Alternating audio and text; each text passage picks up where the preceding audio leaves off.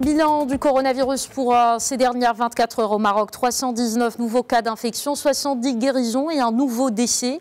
Des chiffres communiqués cet après-midi par le ministère de la Santé.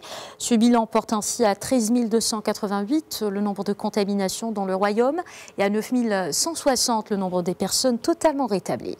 Le nombre des morts atteint 230. Le ministère invite toujours les citoyens à respecter les règles d'hygiène et de sécurité sanitaire, ainsi que les mesures préventives prises par les autorités en faisant preuve de responsabilité et de patriotisme.